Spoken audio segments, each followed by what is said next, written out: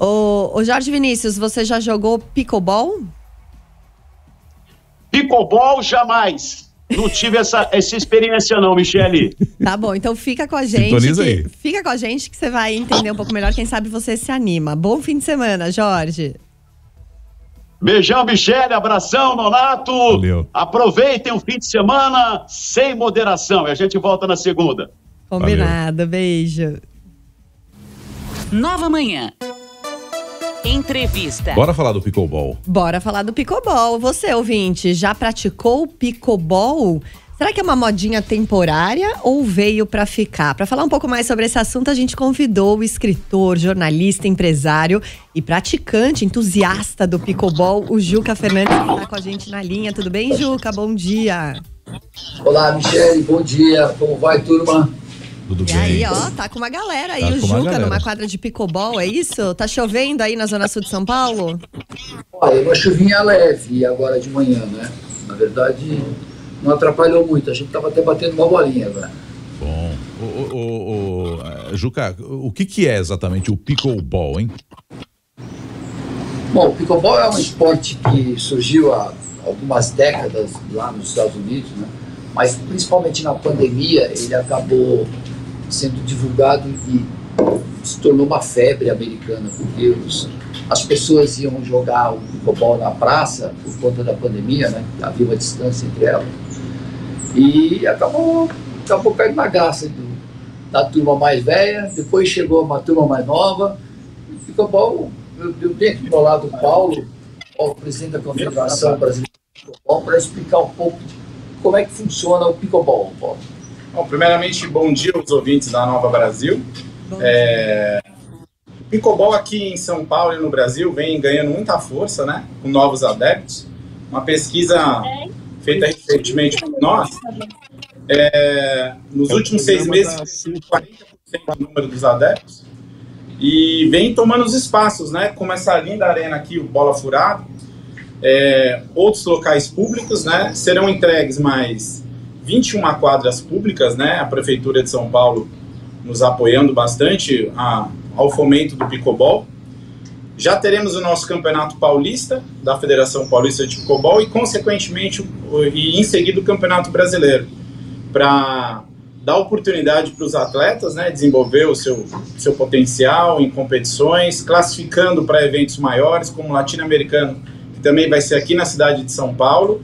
O pickleball vem ganhando cada vez mais forma e adeptos, está aqui os nossos amigos, né? Os viciados na bolinha furada aqui, que mesmo em dia de chuva estão aqui praticando pickleball, se exercitando, trabalhando a saúde e, e fortalecendo esse laço social. Só lembrando que o pickleball ele é praticado por todas as idades, desde crianças de 8 anos de idade até o, a melhor idade aí acima de 80 anos, né? Nos Estados Unidos já é uma febre com 30 milhões de praticantes e já existem muitas competições de categoria acima de 80 anos. E isso se reflete aqui no Brasil também, né? Temos muitos atletas com, na, na melhor idade, né? Já participando dos Jogos da Melhor Idade da Prefeitura, o JOME, e fazendo esse esporte aí, engrossando o caldo e trazendo mais adeptos, mais qualidade de vida. Ô Paulo e Juca, é, para quem nunca viu o pickleball, e a gente tá falando principalmente aqui pro pessoal ouvindo no rádio, qual é a diferença dele pro tênis, pro ping-pong, pro badminton, pro beach tênis? Porque é um esporte com raquete e bola praticado numa quadra. Mas qual é a diferença, principalmente, sei lá, pro tênis e pro beach tênis, vai? Ô, Michele, o, o pickleball ele tem a dimensão da quadra, é uma quadra dura, uma quadra de cimento, com uma resina antiderrapante. Ela tem praticamente a metade do tamanho de uma quadra de tênis normalmente. É, Joga-se em duplas ou simples, como no tênis. Né? É praticado com uma raquete um pouco dura e essa bola toda furada. Por isso o nome na arena, bola furada. né? Então, é, a contagem de pontos, ela é, é numérica, é 1, 2, 3, tal, até 11. É, os movimentos do pickleball lembra o movimento do tênis. Então, o tenista vai ter, quem pratica tênis, vai ter uma facilidade maior com, com o pickleball. né? É, vantagem do pickleball, você corre menos, na quadra é menor, a bolinha tem uma velocidade menor, por isso também essa paixão pelos, pelos, pelos mais velhos aqui, né? no caso. Aqui. Vem para ficar então no Brasil, na sua avaliação, o pickleball?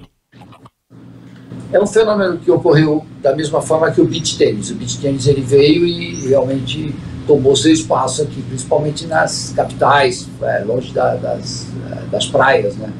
O pickleball não, o pickleball veio e é, de uma forma até mais veloz que o beach ele veio para ficar mesmo. Porque é fácil a prática do pickleball, a arena é, é, é fácil, né, Paulo, de montar uma arena. reduzidas, né? É, dá para você fazer no, na garagem do prédio, dá para fazer numa quadra de futsal, mas é muito bacana. Eu convido a todos né, a praticarem o pickleball. O, Aí. Vários ouvintes aqui já se manifestando, a maioria não conhecia É, mesmo, nunca exatamente. tinha ouvido falar. Então fica aí o convite para todo mundo experimentar, quem sabe, o pickleball. Obrigada pela participação, pela entrevista com a gente aqui. O Paulo, que é o presidente da Confederação aí de o Juca Fernandes, escritor, empresário e praticante também de pickleball. Obrigada a todos, bom jogo aí para vocês. bom dia. Bom dia a todos. Valeu, um abraço. Valeu. Até mais, brigadão. Participação aí dos praticantes do pickleball. Parece legal, uma quadra menorzinha, já me Fazer um anima camp- mais, Vamos fazer hein? um campeonato Nova Brasil? Bora. Desafio? Tô pronto. Mino no Mi. É isso. 6h49.